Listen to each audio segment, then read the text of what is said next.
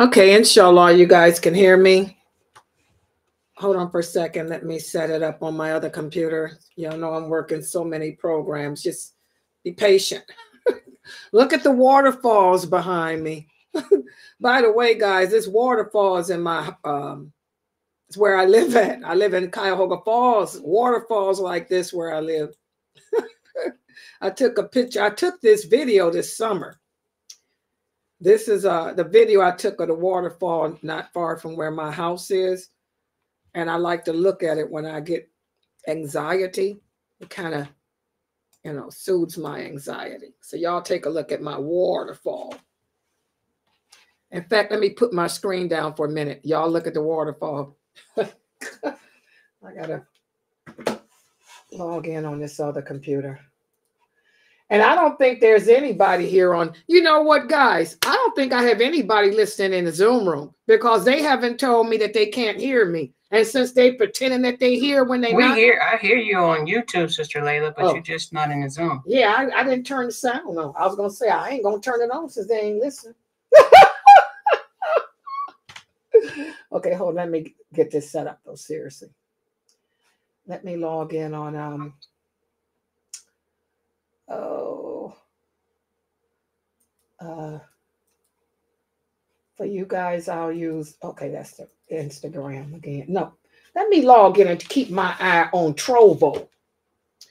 I'm going to use trovo with you guys on uh zoom so i can keep my eye because they told me that there'd be some people coming on there with fitna.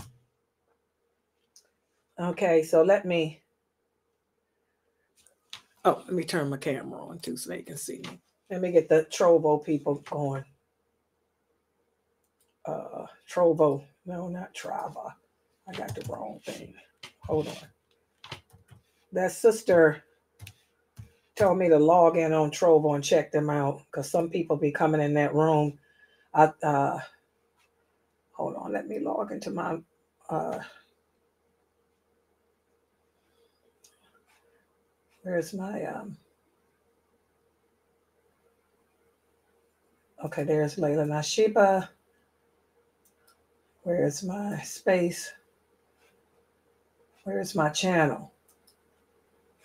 I haven't logged in on Trovo in so long. I'm sorry, guys. I can't remember how to do it. Oh, there it is. Sunnah followers. That's me. Start watching. Oh, there we are. Okay, so I'm gonna let you guys on YouTube, I mean on Zoom, take a look at Trovo when I go. Okay. Hold on. So I can keep my eye on them. Okay, and you said they don't have sound in Zoom, although ain't nobody told me but Mina. She's the only one that listens to my classes anyway. She'll keep it mute. Okay, hold on, let me. No, we- can't hear you in Zoom. Okay, now I turned it on. Yeah, I hear you now. Yeah, I should just leave it off. okay. All right. Okay, everybody's ready? Oh, I'm sorry. Share it to the. I'm telling y'all, I don't know anybody on more channels than I'm on and don't have no subscribers. That's what's so funny. I'm on more platforms than anybody I know, and I have zero subscribers hardly.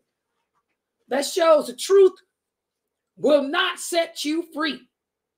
It'll set you free in the hereafter, but not in this life. You will always have one follower in this life. But inshallah, you be with standing with the, the prophet and all them thousands of companions in the day of judgment. Because I ain't got no followers and I ain't nobody logged in like Laila. Okay, hold on. Let's get started here. Oh, I'm sorry. Here I come now, Facebook. I got my eye on Trovo. What I'll do each day to keep my eye on these different platforms, I'll pick one. Like I did uh, Instagram earlier. This is Trovo. Tomorrow I'll log in on um, Twitter. Then I'll do Twitch. Then I'll do LinkedIn just to see what's going on. So my eyes will be on the fitna because, you know, I can't be in a hundred places at once. I know y'all think I'm Superwoman, but I'm I may be Wonder Woman, but I ain't Superwoman. Hello. pretty good, Laila. Okay, let me log in on Facebook. My polygamites, here I come.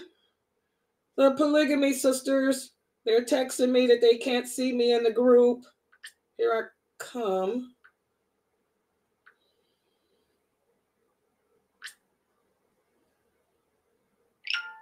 Then they done changed how we do stuff here.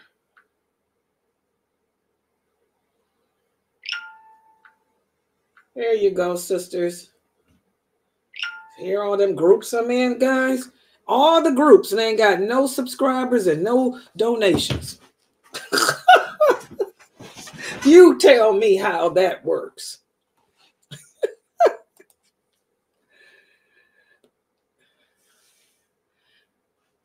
Yeah, that's what I'm saying, brother. And my and look how many groups I'm on in Facebook. It's pathetic, and we don't have that many um subscribers or donators. I mean, but that's the life of the people of the truth. We'll never be famous, which we don't want fame. We're not doing it for fame in this world.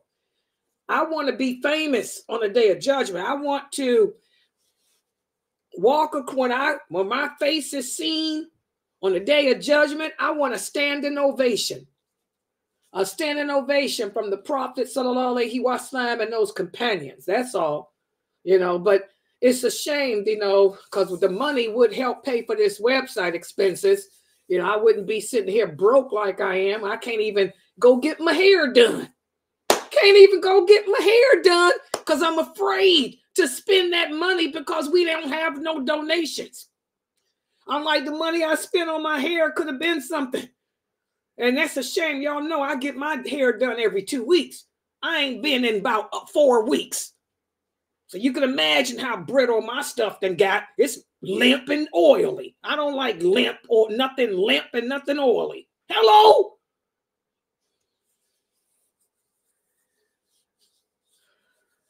Oh my God. Here we go with the polygamites. Another question from the polygamites before we get started. Let's look at this question, guys. The polygamites. they asked a real strange question today. They wanted to know if a bro has two wives and he's impotent, should she stay? That's a question that only she can answer. Can she be married and not have sex? That's not a religious question. That's a personal question. Okay? So tell her if she wants to give up sex and if she won't and she can can resist committing adultery, that's her business. Because some things are not Islamic, they're just common sense questions. Some women can stay married to a man who can't do nothing for them. There's a lot of women that marry men that don't provide, that don't maintain. There's a lot of women that settle to be on welfare and live in the projects just to have a man. There are some women that's married to a man and the man lives overseas and she ain't seen him in 15, 20 years. So that's up to her. Because in Islam, divorce is good and clean.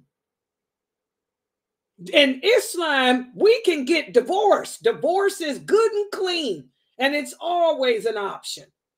Divorce is always an option if you're in a marriage that you can't deal with. So tell whoever that those sisters are, that's not an Islamic question. That's a personal question. Me personally, I couldn't deal with no limp man. I'm sorry. That's me personally. If I wanted to be with a man that can't take care of me, then I would have stayed by myself. That's me. If y'all see Laila getting married, it's because Laila getting ready to take care of business. That's me.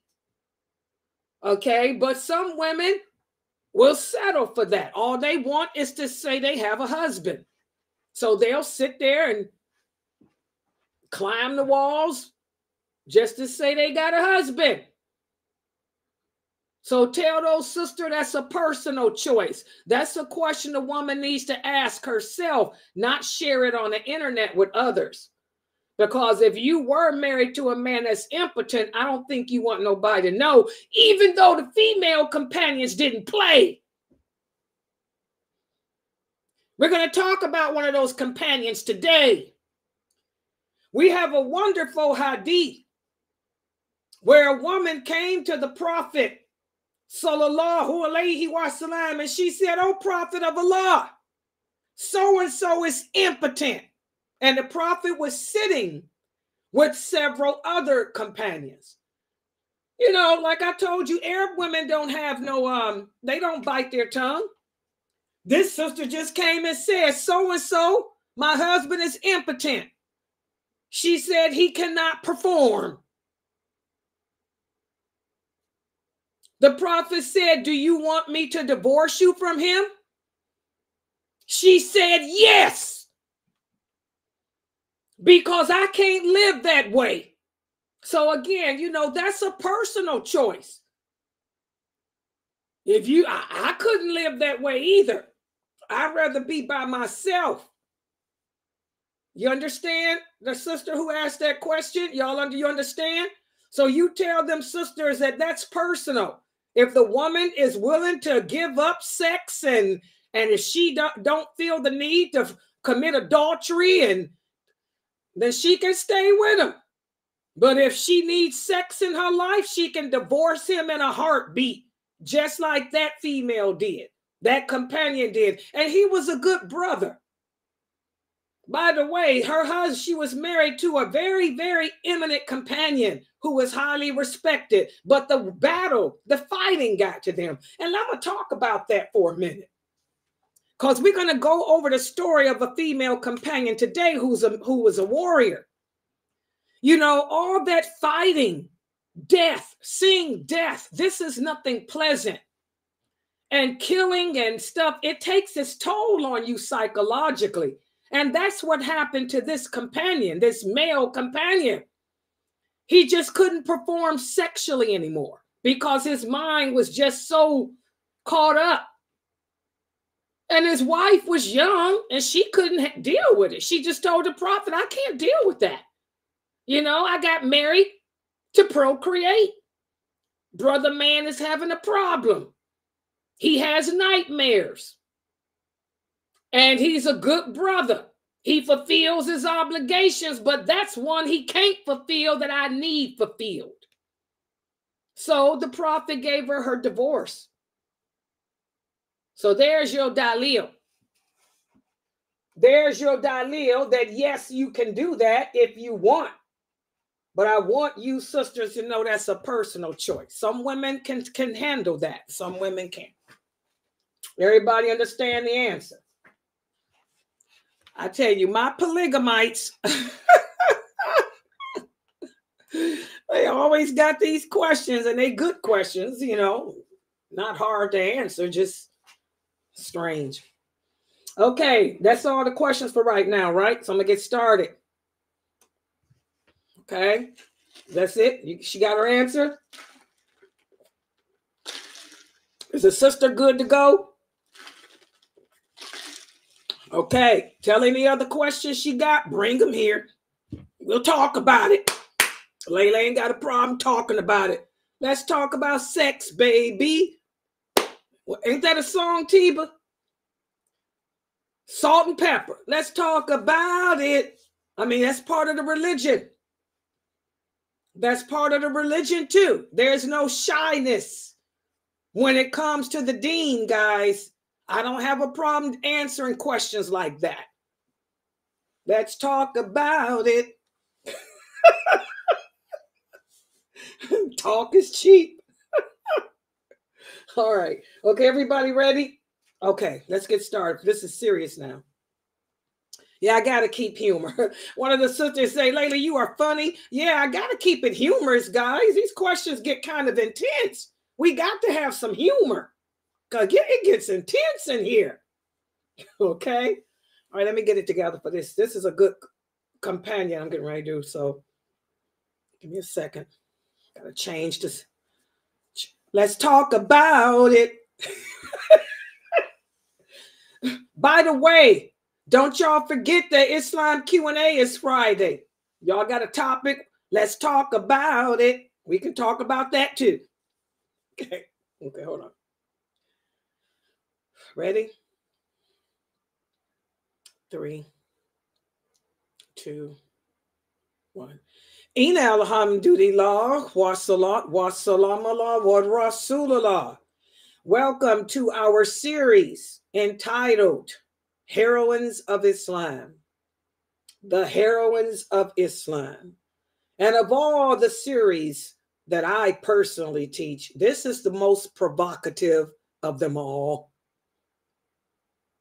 It takes a lot to go over the story of these female companions because these female companions are the role models for each and every one of us Muslim women because they are our examples. There is nothing that we encounter in this world today that these women have not already encountered. Even the question that was asked before class about impotency. And I want to talk about that for a moment. I want everyone to understand that when the Prophet Muhammad sallallahu alaihi wasallam rose up to prophethood, this was during one of the most uh, uh, tumultuous times in humans' history. These were the dark ages. This was the sixth, seventh, eighth, ninth century. This is when the earth was at its, its worst. That's why it's called the medieval dark ages. Christianity had come and gone, left the people wanting. Judaism came and gone way before that. These were days in which the people had lost their hope. They've lost direction. The world was filled with nothing but pillage. It was all about power. It was all about taking over, uh, uh, taking away from those who were less than you. And women, women had no rights during those days. The sixth, the seventh, the eighth, the ninth century, women had no rights whatsoever. So these were terrible times in man's history. And I tell you, sisters, all the time to be a woman during the sixth, seventh, eighth century, you had to know how to survive because women were viewed as nothing but property. The world was nothing but pillage and take from who you can take from. Women were the collateral, and so were children. If a town raided another town, whoever was the victor not only received possession of everything in the town, but the women and children too. The women and children who survived were divided up amongst the men. They were taken by the men as slaves. You had to be beautiful back then. If you were not a beautiful woman, or if you were an old woman, you were executed. They would just kill you because there was no purpose for you.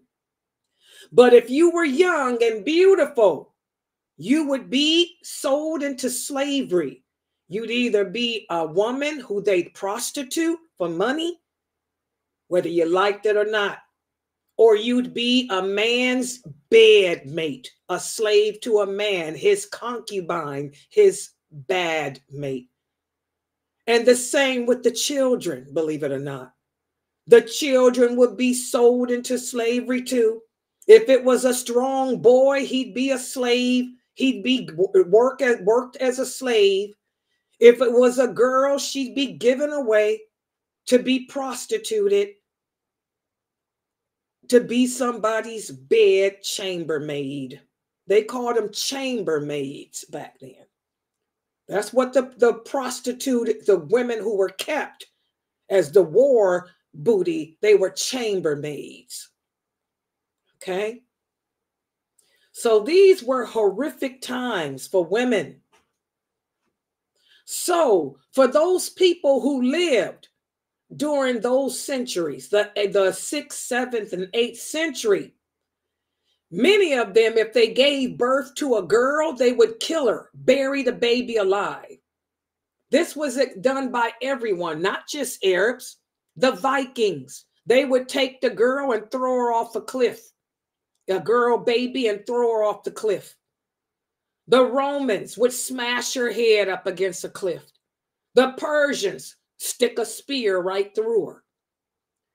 Because again, women were of no value back in those that those centuries. Okay? So, to survive, you had to know how to fight. So if a family, if a couple gave birth to a girl baby and they wanted to keep her, they would train her. She was trained to fight.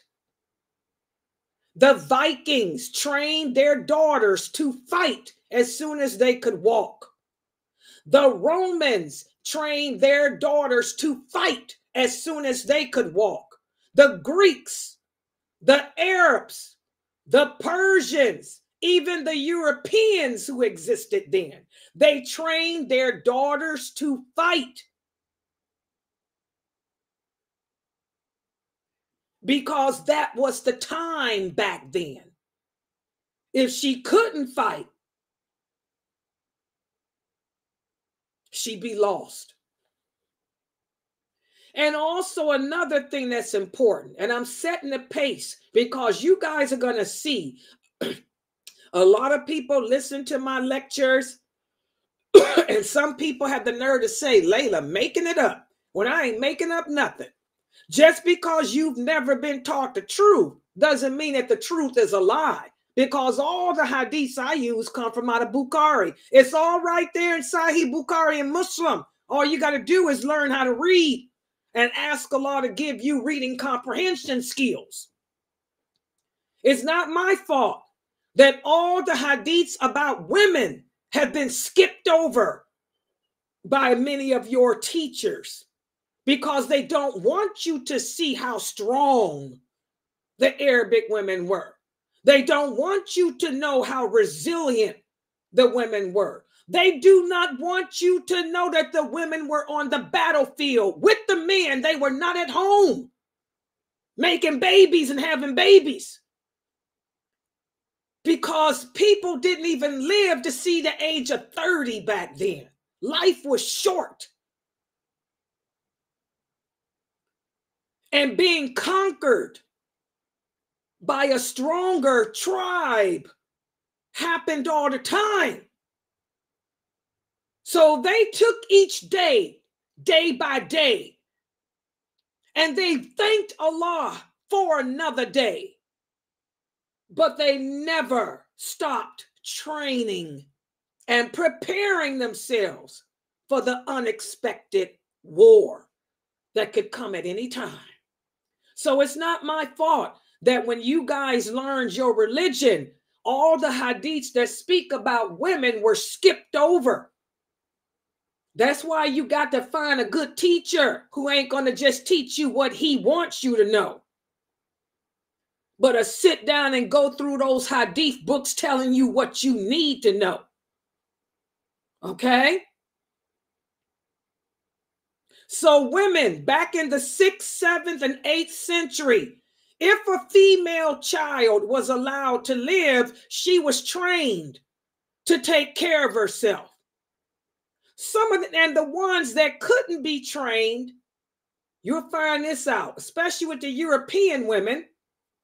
For the women that couldn't be trained because they were just didn't catch on to it, they didn't have the heart for it.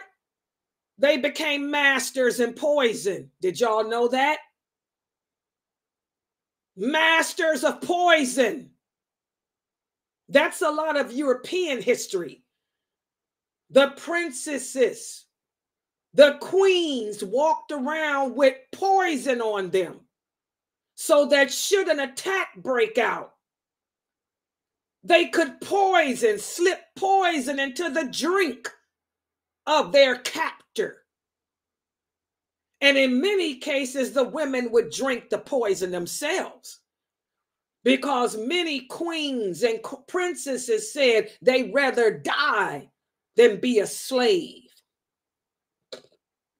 The same with the Arab women. For those women that couldn't fight, but there weren't that many because all Arab women were trained. It was just their culture. When I did the story of Sauda, Sauda radiallahu anha was 60 years old, but what did, did Aisha say? Aisha said Sauda put everybody to shame on that battlefield. Sauda would pick up a, a sword and a pole and would put everybody to shame. That hadith is Bukhari.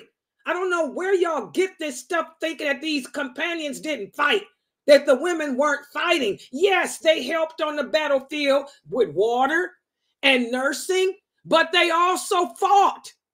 That came with it. Because I'd rather die fighting with my sword than to end up a slave to someone and passed around and prostituted. I would have made the same choice too. If I were living back in those days, I'd be the same way. Hand me that sword, hand me a knife. I'd go out that way than be somebody's bed maid or chamber maid, as they called it back then. That's history. Well, today I'm going to give you guys the story of one of the best heroines of Islam. She was the sister of one of the best warriors of the Quraysh. She was also the aunt of the Prophet Muhammad sallallahu alaihi wasallam. Let's put the PowerPoint up on the screen, and I want you guys to take notes. And we're going to put to rest this misconception that many of you have that the women were sitting at home somewhere. I don't know where this comes from. And the Arabic sisters here, they tell me, Laila, I can't believe the women in the West believe that stuff. You know, I have a lot of Arabic women uh, who come and listen to my classes. They help me with some of this stuff, and they're and they're shocked at how the Muslim women in the West are not taught these things you know, subhanAllah. So let's share this, but let me first screen share. And by the way, for those of you, oh, I'm not the, I'm not, wait a minute, hold on, guys. Who's the host? Me? Okay, hold on. Hold on, guys. Let me do this. I have to give myself access which I don't know how to do because I can't open this up. Give me a second. Where's Laila's other account? Okay. All right, hold on. It's me. Okay, here I go now. Let's try this again. Oh. Oh, wow. Okay. So the people here in Zoom, you guys are going to see this is Trovo. So you guys can watch through Trovo so I can keep my eye on what's going on in there because they say a lot of crazy stuff. That's Trovo. If anybody that's on Trovo, that way I can see what's going on since y'all say it's some crazy people coming in there. Okay. And now for everybody here, the rest of you, watch the waterfall while I put the PowerPoint up. And we'll get started now. Allow. Yes, do take it off, Sister Lena. What? What take what? Oh, what's the wait a minute? Let me. Let me uh, the Sunnah followers at the top and then bottom. Okay, well, let me log on first because I can't do but one thing. Let's see. Where am I at? I'm here. I don't want to get confused. Hold on. Okay, let me make this long, big screen for everybody. Wait a minute. Okay, that's large screen. And uh, where's the design? All right. Okay, everybody, inshallah, can see my PowerPoint and Trovo people. I see you guys too. I got my eye on you, Trove. What's this? I don't know what that is, but it's in my way. Okay. All right, let's go to the beginning. Put it on slideshow from the beginning. Okay, everybody can see. So tonight we're going to do the story of one of the great heroines of Islam. Her name was Sophia. Sophia, the daughter of Abdul Muttalib. Sophia, the daughter of Abdul Muttalib, radiallahu anha. Let's talk about her. She was the mother of Azubair ibn el Awam, who was one of the eminent companions, and she was the sister of Hamza, the uncle of the Prophet Muhammad. So she was the Prophet Muhammad's uh, aunt, sallallahu alaihi wasallam. In fact, uh, they say that she was the only aunt from his father's side who converted to Islam and migrated. And just like I did the story yesterday of Aisha, radiallahu anha's mother, Umm Ruman, a lot of the Arabic girls were trained to be excellent horsewomen. Okay. And they were always trained at birth to be warriors because, again, the Arabs were no different than the Vikings. They were a warrior race of people.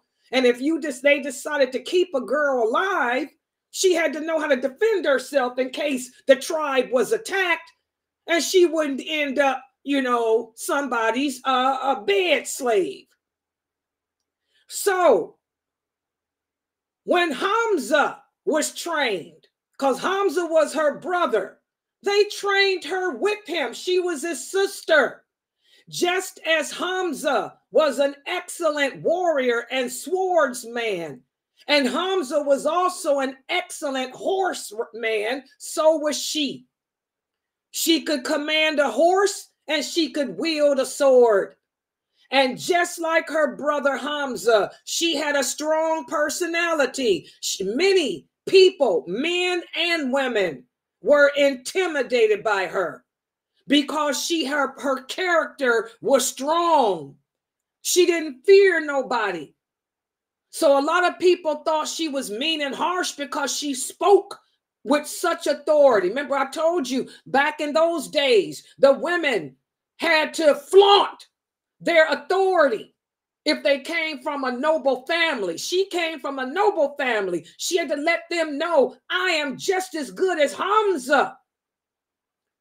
So she carried herself with authority, just like Khadijah, radiallahu anha did. Remember, we talked about Khadijah, the mother of the believers. Khadijah came from a noble family too. Khadijah carried herself with dignity, nobility, she was a force to be reckoned with, and so was Sophia. I don't make this stuff up, guys. This is how a woman survived back then.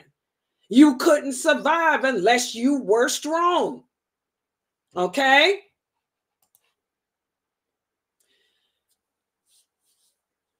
When Sophia was young, she was promised in marriage to a man named El Harith ibn Umayyah. That name should be familiar to you. Remember, back in those days, if you came from a noble family, the girls were promised in marriage at birth to other dignified men. Well, she was promised in marriage to El Harith ibn Umayyah. Who was he? He was Abu Sufyan's brother. She married him, but he died before they could have any children. And like I told you, women didn't remain single back then. Even though she was a woman of affluence, A woman still was nothing without a man behind her. So, and being that she came from a noble tribe, she was married quickly to El Awam ibn Khuwaylid. That name should be familiar. Who was he? He was the brother of Khadijah, radiallahu anha. So now do y'all see? We talked yesterday about how Aisha's mother, Um Ruman, was good friends with Khadijah. Well, now you can see Sophia was close friends with her too. Because again, uh, Khadijah, her, her brother was the husband the husband of Sophia. And Sophia had two children by him, As- Asaib and Azubair. You guys know about Azubair. But he didn't live long either. He died. But after he died, Sophia devoted all her attention to her two sons, especially Azubair, the younger one. You know, she spent her time trying to raise them to be men. And being that she came from a wealthy tribe, a wealthy family, money wasn't no problem for her. And so she was able to devote her time to her sons. She wanted them to be tough. Because as I tell you guys all the time, in this era of history, only the strong survive. If you were weak, you wouldn't have made it in the sixth, seventh, eighth century. Only the strong. Her youngest son, Azubair, he wasn't as strong as his older brother. Sometimes he would come home complaining to his mother of how the other kids bullied him. She would get angry. She would admonish him and she would tie him up and beat him to make him strong. And by the way, guys, this was very common. If you le- learn history, Google through how life was in the sixth, seventh, and eighth century. Boys had to be made strong. The Arabs would do this. The Vikings, the Vikings, you know what they would do to a boy who wasn't strong enough? They'd strip him of all his clothes and make him uh, uh, stand in an icy lake of water for as long as he could. So this was common. Okay, very common. They would beat the boy to make him tough, to make him not be a crybaby. The Romans, they would send their boys out hunting, hunting for lions, tigers, wolves, and they better come back with a wolf or with a tiger skin. So this was common back in those days. This was not oppressive. This was not a child abuser. This was the way the world was then.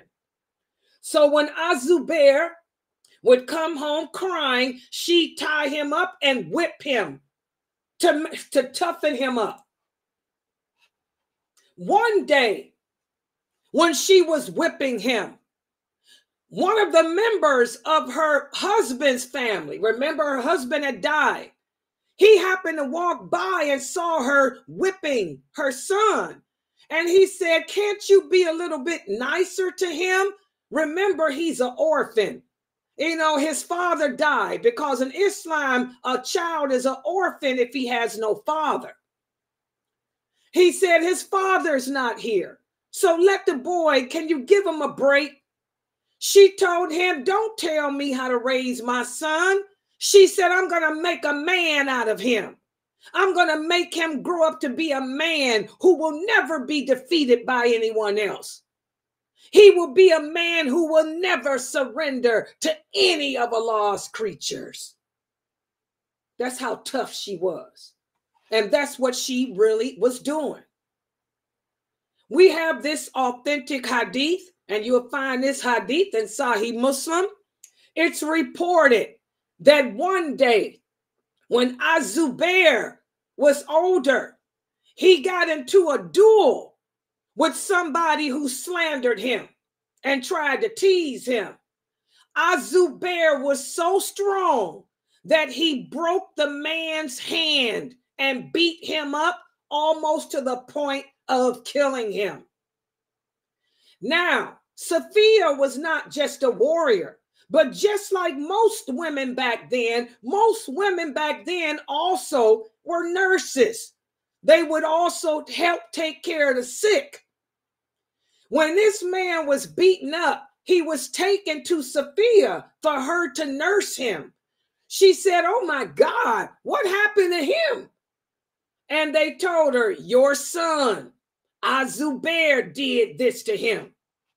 And when they told her that, she smiled and she began to recite the following poem. She said, Now tell me, how did you find Zubair? Did you find him like a cottage cheese?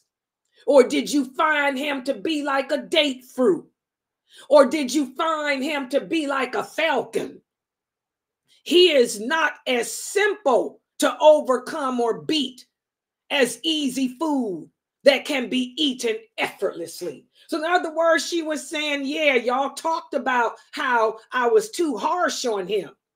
Y'all complained that I was abusing him too much. Now, look at my son. Look at my son. He's undefeatable. Subhanallah. And that's what she wanted. She always wanted him to grow up to be strong in body and in soul. This is a warrior. She was a warrior. Okay.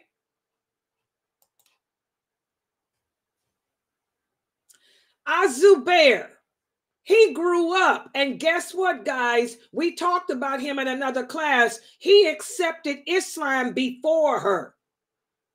Sophia didn't didn't embrace Islam as quickly as um, uh, her friends did. She didn't embrace Islam like Khadijah did and like Umm Ruman and them did. She stood upon the religion of her, her forefathers for a while.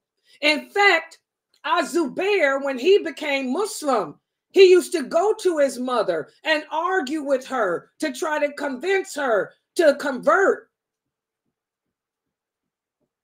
And it would bother her that he took on this new religion, but there was nothing she could do to make him change his mind because he was now a man. And by the way, I want y'all to look at this picture. This is a picture that I dug up off the internet. This is how the women dressed back in the seventh, the sixth and seventh and eighth century. The Arabic women because they were warriors. They had to fight. They wore hooded cloaks like this. Okay? Hooded cloaks like this. And they had uh, their swords and stuff attached to them. So that's why I picked this picture to give y'all an idea. And this is also how other women, the Roman women, dressed similar to this too. And so did the Persians and the Vikings too. But the Vikings had wool because it was colder where they were. But this is how the women had to roll back then because you never knew when you was going to be attacked. And Sophia was a horsewoman. She could work with horses. Okay.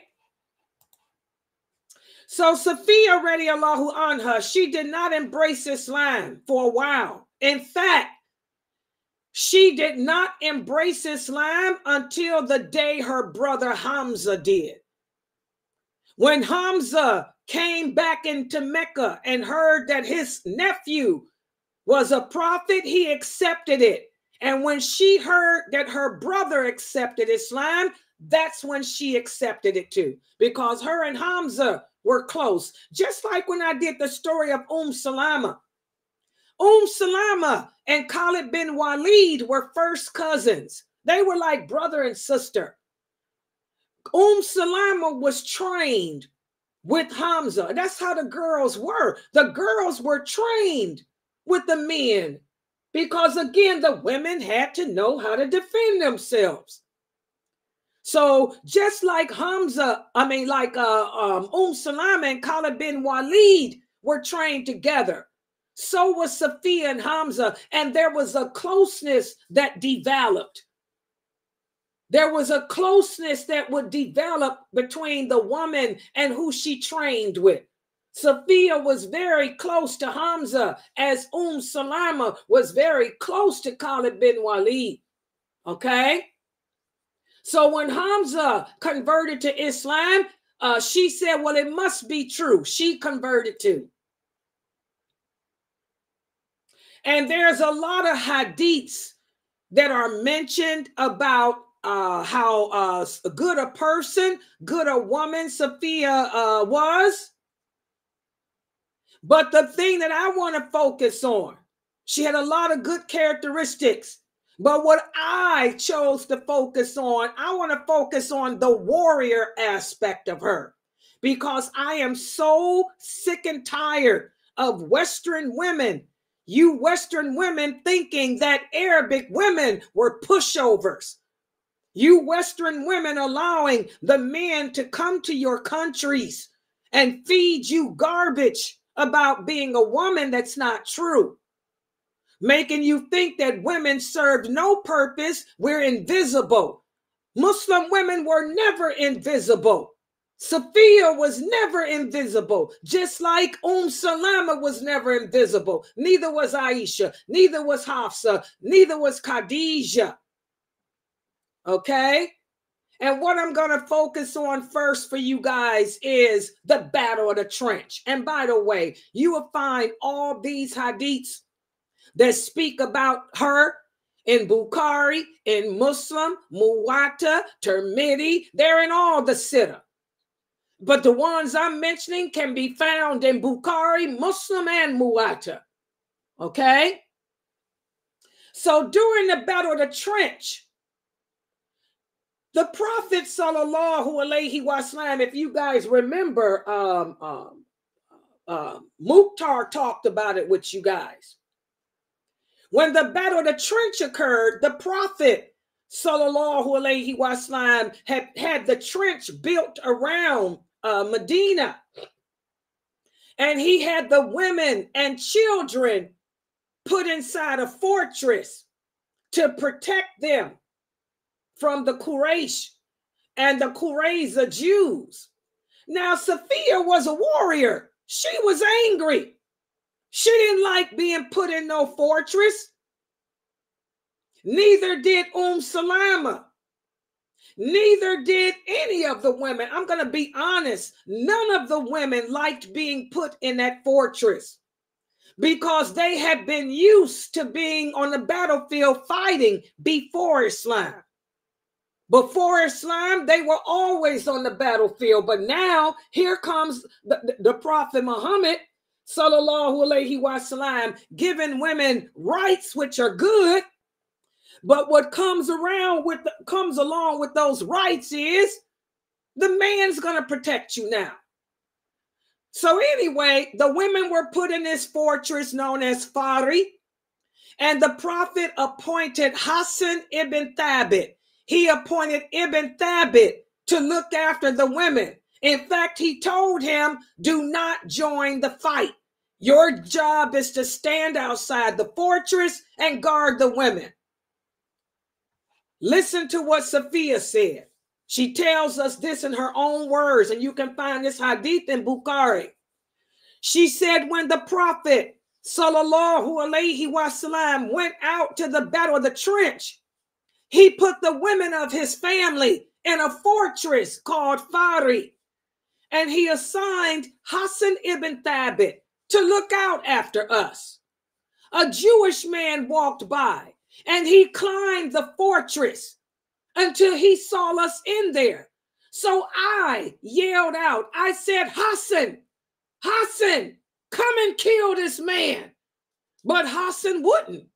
He said, No, the prophet told me to just watch you women and not do anything else. So I stood up. I grabbed my sword and I took off his head.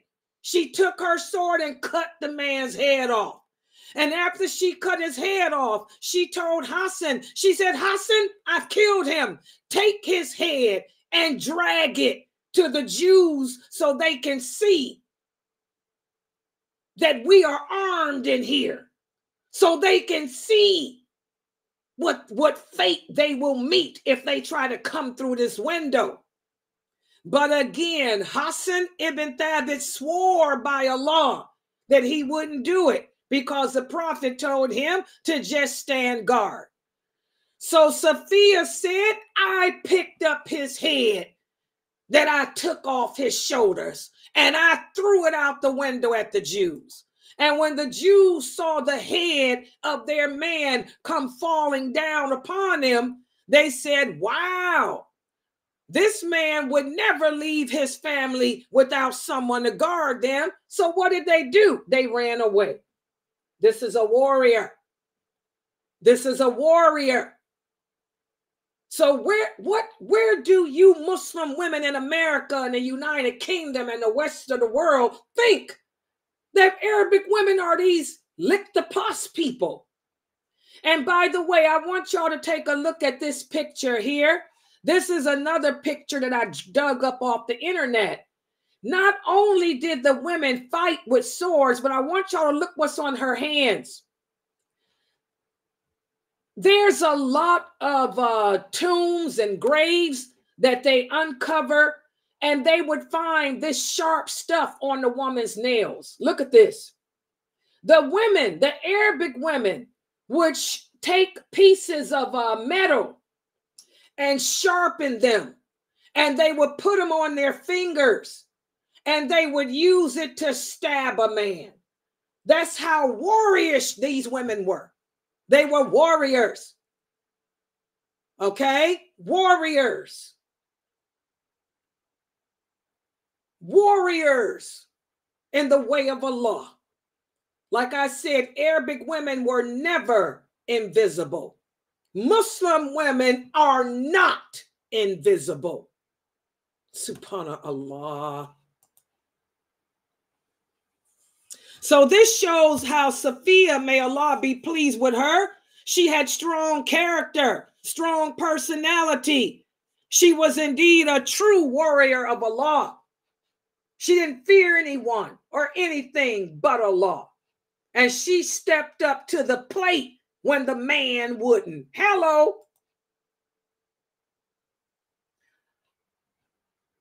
Also, she not only served a great uh, service there.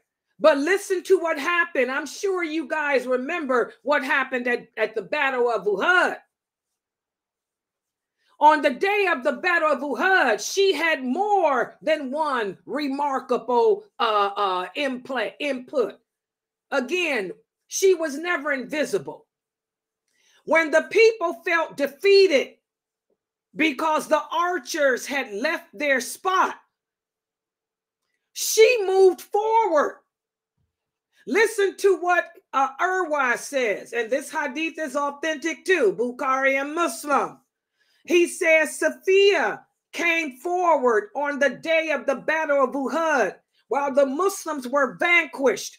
She came forward holding a spear in her hand and she began to strike the faces. See, she was a fighter, a warrior.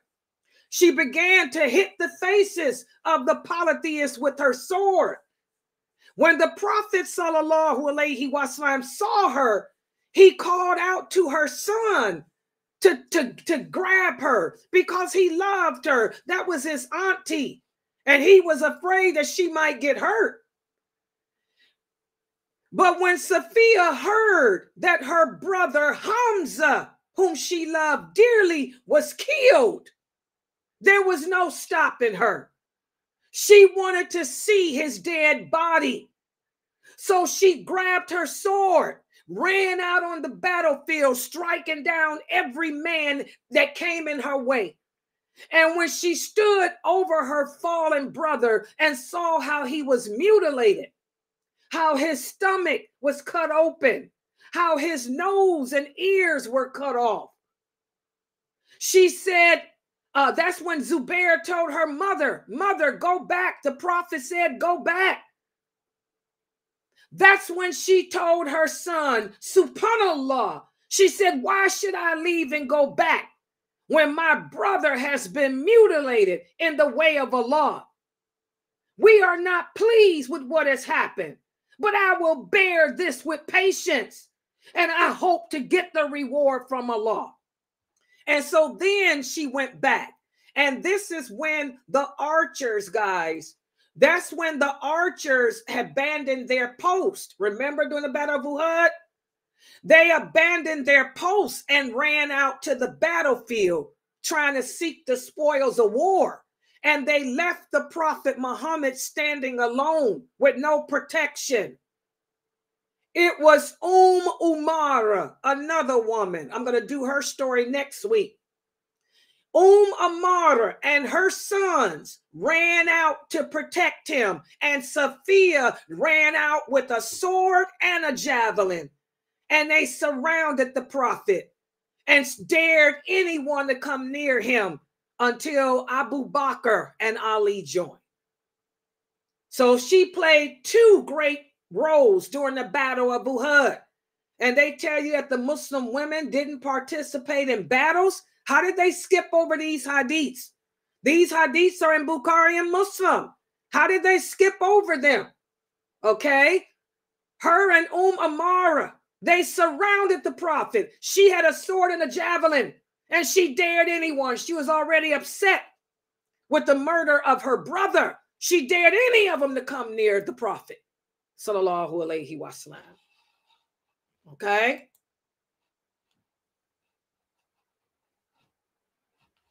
Also, Sophia was present when the prophet died, sallallahu alaihi wasallam.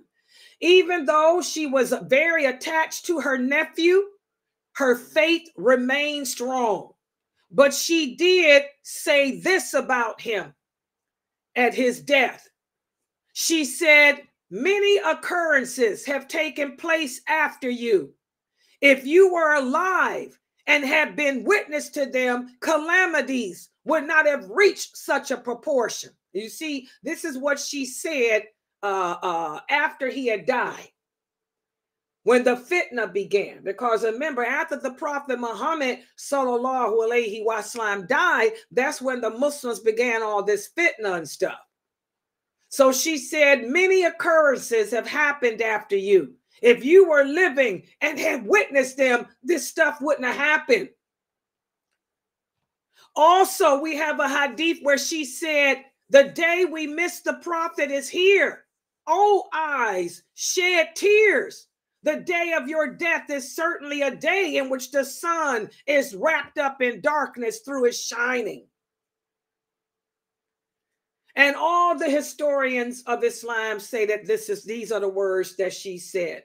You know, this is after his death when this uh, when times got bad. Okay.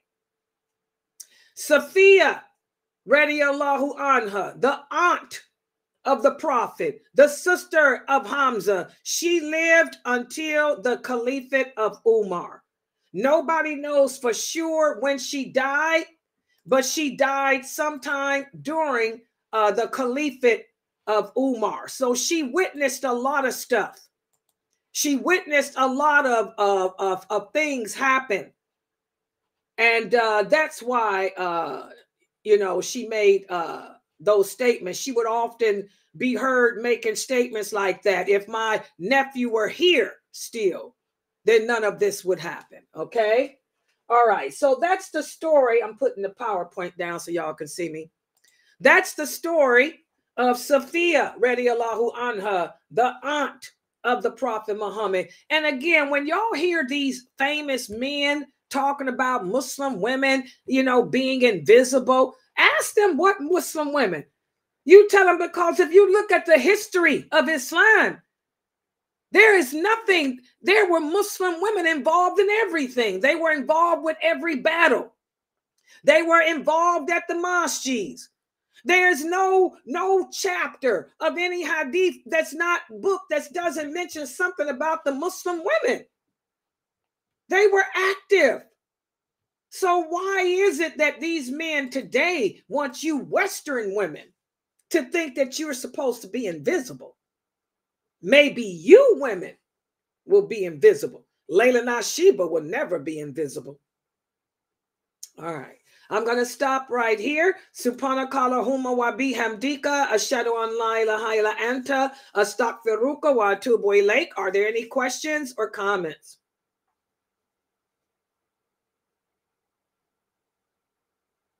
No comment, but uh, just a little comment. I just knew she was supposed to get it get it cracking when she when she went and seen her brother. I was like, oh, she supposed to get it cracking. I mm-hmm. thought she was to say she supposed to start taking all their heads. yeah, she yeah, she was a warrior. Like I said, these Arabic women back in those, and not just the Arabic women, they all the women that live. That those were rough times in history all the people trained there, the women that they kept alive. Remember, they used to kill the girl babies.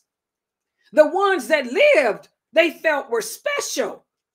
So they had to train them in how to defend themselves. And like I said, the ones that weren't defend that couldn't be trained, they, they knew about poison. You want to know who was big on poison? I love Persian history. Woo! The women of Persia, Woo, woo, woo, woo. That's who took out Alexander the Great. Who took out Alexander the Great? That Persian woman that he took on with his sodomite self. She fed him that poison. Yeah, poison was a big thing back in those days, and the women were the ones that wielded it, the ones that couldn't fight. They knew how to, they always carried poison in their sleeve or, or, or something because you never know when you got to use it. Charm a dude, slip it in his drink, and let him die. That's what happened to Alexander the Great. He got taken out by a woman. Poison. yeah. Yeah. Any other questions or comments, guys? Yeah, I don't know why these brothers skip over these hadiths with y'all in America. I mean, in the West, Arab women know their history and they're proud of their history. It's just these Western women. Y'all keep on covering your bodies up, wearing those niqabs and thinking that you can't be beautiful. Y'all keep on being that way. I mean, ain't nothing wrong with a niqab, but some of my sister-in-law wears niqab and she's Arabic. But I'm saying some of y'all wear it because y'all were told that you can't be beautiful. I don't I, I don't understand how y'all let people tell you that junk. Because these women weren't walking around in no niqabs and and and, and all that dumb stuff. I showed y'all that's real common. They shape that stuff up like a knife. Tiger. That's like the ones the the ladies with the when on, on those movies like them Chinese ladies they, they had those fingers like that too. Mm-hmm. Yeah, the Chinese women now that's another culture. Another oh my god. I love the history of the Chinese women. Oh my god, those women were trained to charm you. They didn't they fought too. But they were masters of seduction they were trained to seduce you and then take you out. They knew how to play the game of being your concubine or letting you think you're getting ready to have your way with them. Then they take you out. Yeah, that the sixth, seventh, and eighth century. I had to study that a lot when I was in college getting my degree, and it it fascinated me to see what, what the extremes the women had to go through. And like I tell y'all, history repeats itself. The world goes around and around. It's filled with up and down roller coasters, but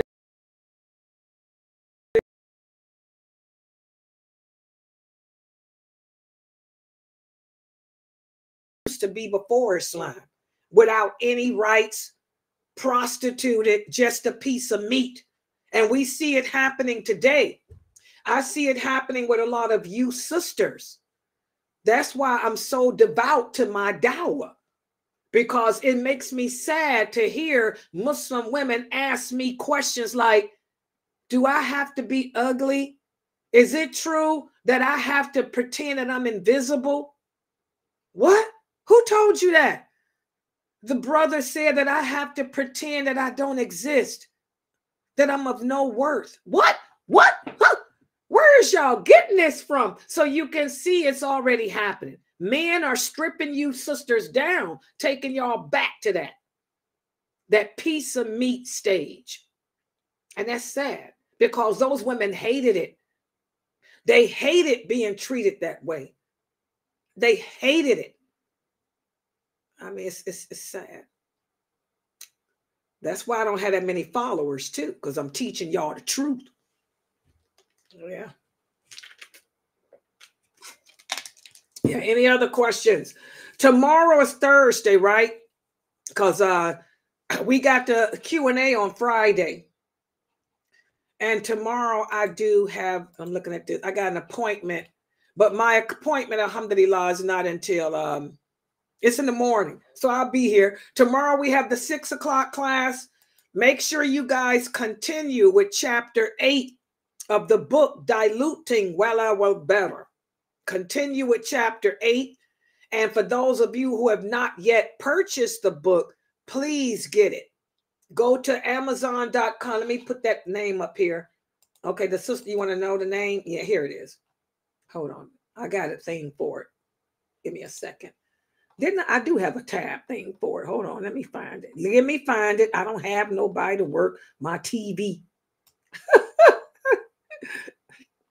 Wait a minute. Hold on. I got so much stuff on here, y'all. I can't. Wait, it's at the bottom, I think. Laila, go down. Here it is. Oh, that ain't it. Who is that? Oh, don't forget, guys, Dr. Jamali. Don't let me forget to uh, stream him. Uh, he will be doing a khutbah in Sheikh Kareem Abu Zaid's mosque on Friday. I got that written in here. Y'all hear me? Sabrine, somebody? Yeah. Sabrine, I will. Okay, yeah, yeah. Don't let he's doing a khutbah Friday at Sheikh, Sheikh Kareem Abu Zaid's mosque. And it's gonna be at there, there's two hours. Uh it'll be two o'clock my time. Remind me that here's a different a time difference. I cannot here it is. But this is the book. There the name of it is. Guys, make sure you go to Amazon.com and purchase the book, Diluting Wella Well Better, Volume 2 by Sheikh Kareem Abu because we'll be starting that book next week, inshallah. It's 1999. And also, make sure you guys buy this book, the book of Sheikh Adly's. Where is Sheikh Adly's book? Don't I have it? Oh, I don't. I think I got his as a Sheikh Adly's book, I got a picture of it. Hold on. This is okay. There it is. This is Sheikh Adly's book. Wait a minute, let me move this out the way. The Articles of Belief. Can y'all see it at the top? Go to www.adlyonline.com. Let me move that out the way. Hold on. There it is www.adlyonline.com. Go there and order the book entitled The Articles of Belief. This book is just $10. The Articles of Belief by Sheikh Adly. That $10 is the shipping and everything. For those of you who live in the in Canada or outside of America, he has the ebook. The ebook is only a dollar something get the articles of belief because I'm going to start that book after next week too. And we that book is important because um, we need to review the first part of that shahada. Remember, I got Muslims sitting up in here thinking it's going to be Christians in paradise.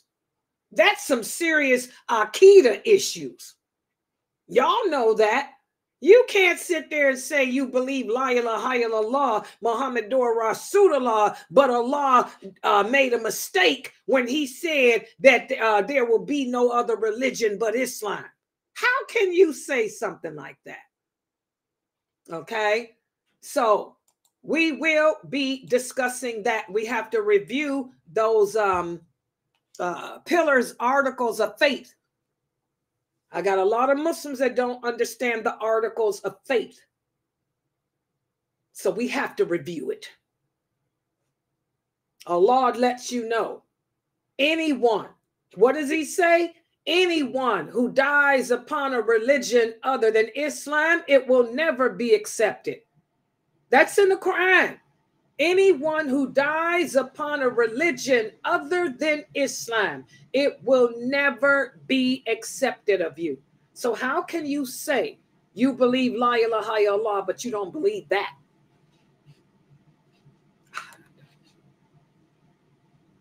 We're messed up. Just, that's the story of the Muslims. That's the story of the Muslims. Hello. Yeah. Any other questions or comments? Y'all got the books, right? Oh, what is this? Hold on, Hold on for a second. Okay. All right. Okay, so inshallah, guys, uh read the rest of chapter eight in diluting well and well better. And then also tomorrow we have my hadith class. And then uh, don't forget Friday is the Q and A. Any questions you have, you can bring them here on Friday. And uh, I'm going to close out for right now, so I can get comfortable with myself here at home. Subhanakala huma wa bihamdika ashadu an la ilaha illa anta astaghfiruka wa atubu ilayk. Y'all have a